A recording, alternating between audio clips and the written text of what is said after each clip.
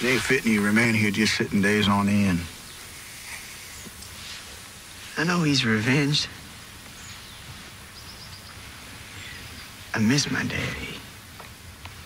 My brother was always about the work of life. He'd. He'd not. He'd not want you leaving about his remains.